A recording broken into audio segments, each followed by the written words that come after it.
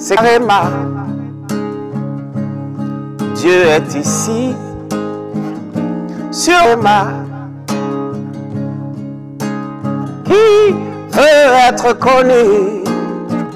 Bienvenue chers téléspectateurs, votre programme de méditation, c'est le Réma de vie. Nous sommes dimanche le 10 septembre 2023. Nous sommes avec l'apôtre Johnson Suleiman.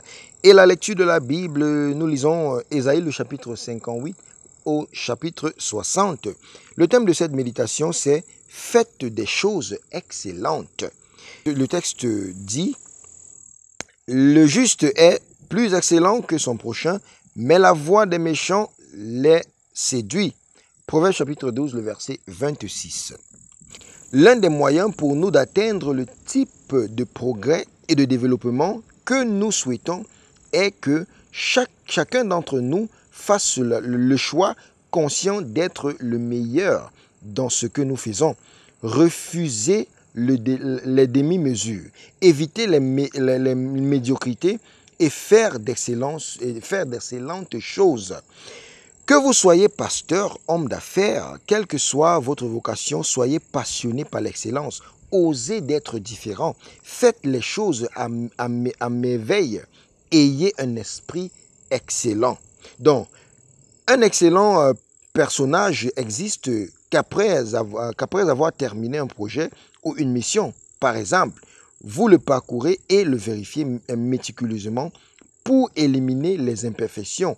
Certains ne, se soucient pas de telles choses. Ils travaillent très dur pour pouvoir ou bien pour produire quelque chose, mais euh, compromettent une réalisation parfaite. Comprenez que la perfection de votre finition est une description de la perfection de votre personnalité.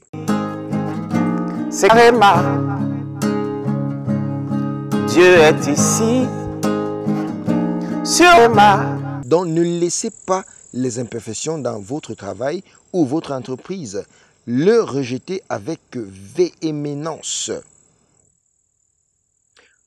Le rejetez avec véhémence. Donc ne tolérez pas les demi-mesures. Faites d'excellentes choses en tant que euh, politique personnelle. Vous devez en avoir envie de ces choses excellentes. Donc vous ne pouvez pas être différent de votre Père, l'excellent Dieu qui fait d'excellentes choses. Même lorsque le Saint-Esprit n'a pas été pleinement révélé, Daniel a fait preuve d'excellence. Joseph l'a montré, donc vous n'avez pas d'alternative. À partir d'aujourd'hui, commencez à faire les choses excellemment.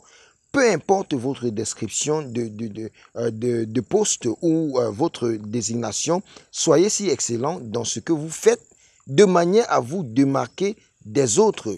C'est important car l'excellence de votre caractère personnel et, et de votre vie glorifie aussi Dieu. Donc bien aimé, prions aujourd'hui. Euh, la prière dit, mon Père, mon Père, pendant que je prie, donne-moi le pouvoir de toujours faire des choses excellentes. Au nom puissant de Jésus, nous avons prié. Amen. C'est. Dieu est ici sur veut être connu.